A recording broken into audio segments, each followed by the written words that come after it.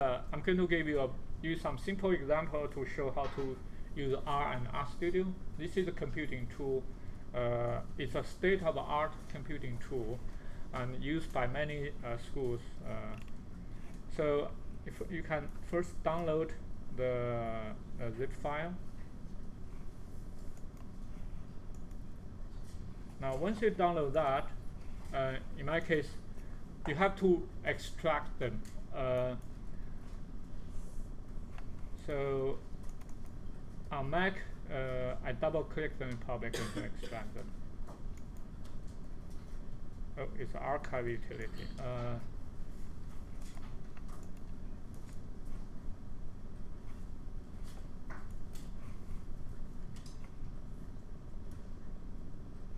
here. Oh, it's at the bottom. Sorry. Yeah, it's automatically uh, extracted on Mac, but on PC, you probably have to choose the, the uh, extraction tools available on your computer to find. Usually, if it doesn't work, you have to right-click on it. But make sure you extract everything. Now, on, on the default version on PC somehow let you to look at the file before you extract them. In that case, it's very confusing because many students just stumble on that step. Okay, so extract them and then uh, uh, open the file. So again, you have to associate the file with R or RStudio. In my case, uh, I'm going to right click on this and then say open. And it's already associated with RStudio just to make sure that's the case. So, right, so so the first uh, exercise called simple.r. That's just the introduction to for you to learn. So why do I do I ask you to use R? First, uh, it's going to look very good on your resume. If you put on resume, you know how to use R do very sophisticated analysis. And if you if you think about you have to compete with hundreds of thousand other college graduates, and most of them going to say I know how to use Microsoft Word and Excel. So if you put that on your CV, it's not going to impress anyone. So, but if you put on CV, you know how to use R and RStudio, at least you get to beat those say who claim they only use Excel, I guess. so, okay, so what what R do is basically a different variant of English. So if I if I do that, say, well, so using R Studio, you can highlight and then uh, click run, see, you highlight and it's going to run the line of code. But if you don't use R Studio, you can use R directly. You can copy paste. But for example, in my case, uh, at the lower lower left, that's the running uh, prompt. I can just type it directly. Say two plus three, that's five. Five, five times ten, that's fifty. Right? You can type it directly there. But if you don't want to type, you can also highlight if I highlight these three lines and then say run, it's going to run at the bottom as well. Right? So, so in this case, R already uh, stored pi as 3.141593. That's already stored there. So, right. so you can then try it. So first, it's going to, this is going to be a much fancier calculator. So it do a lot of things, right? 5 to the third power and basically means 5 times 3 times, right? Multiplying 3 times. Now, you, you, can also do log. So this is log pi. So you, what if you do log 10? You can do log 10, say 100. So you can also do exponential function. So exponential of 0, that should be 1. Exponential of pi, I don't know, but hopefully it's 23.14 something. so, okay, so you can also do square root. Well, square root you can also use uh, the power version, right? So you so 0.5 uh, square 0.5 power is 1.7. That should be the square. They should these two numbers should be the same, right? So square root of 0.5 and 0.5 is power of pi. That's these two numbers should be the same. In fact, I can verify this uh, instead of equal, I'm going to say the logical. Does these two, is these two are the same? It actually says true. This two is the same, right? So it's actually also do logical uh, detection, ha has logical uh, features. And okay, square root of 100, that should be, oops, where did that go? Uh, square root of 100, that should be 2. Right? So, uh, same thing, square root of 0.5, that's basically.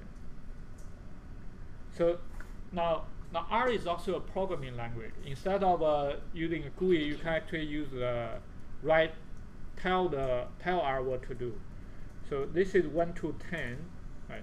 So if I type x, I, I run x equal 1 to 10 on the right, you will see here, x equal 1 to 10. If you type it here, you also see x equal 1 to 10. Right? So you can also, now, but here, uh, the equal sign really means assignment. So, so what I what I'm doing here, I'm going to, so there's a variable called x now in the computer. The x is 1 to 10. Now, this time if I say z equal 1 to 15, and then if you type z, z is actually 1 to 15.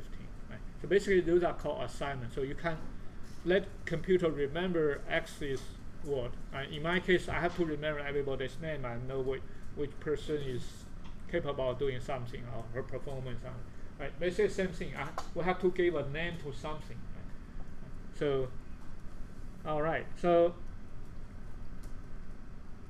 now there's there's many feature here. In in this case, I tell actually three to ten, but how long is x? Is actually have eight members in this list. So that's called that's a function of length. Now, how do I how do I look for help? If I'm lost, I don't know what to do. I type the question command to look for seq. The sequence, for example, there is a command called seq and then on the right hand side, you will see a menu for the seq. Right, so seq basically is uh, for sequence generation, blah, blah, this lot. I'm not going to, but what's the help command for length? Basically say get the length of the vector of the list. Basically, that's what the, the length command does. So now here's the interesting part. In, in most of programming languages, there is something called assignment.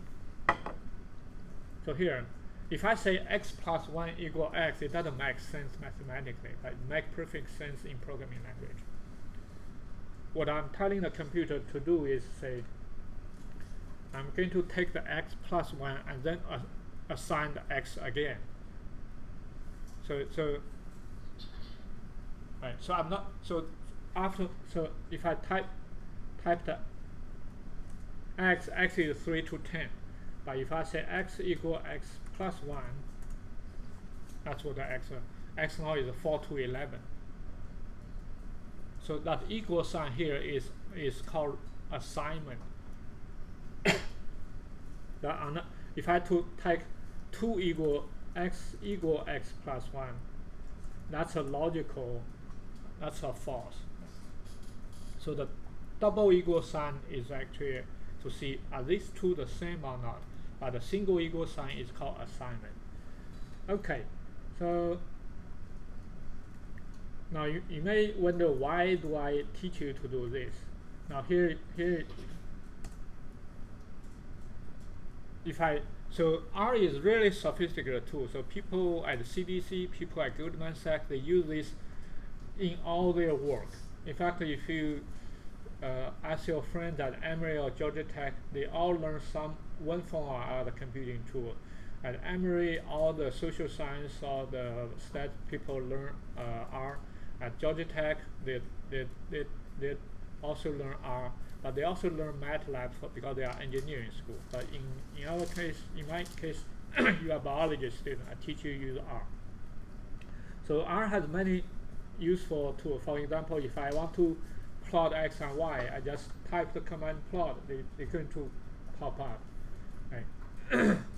if I say, right, yeah, so it, it's much easier than Excel once you learn how to do that. And for this, okay, that's a simple R. So I'm going to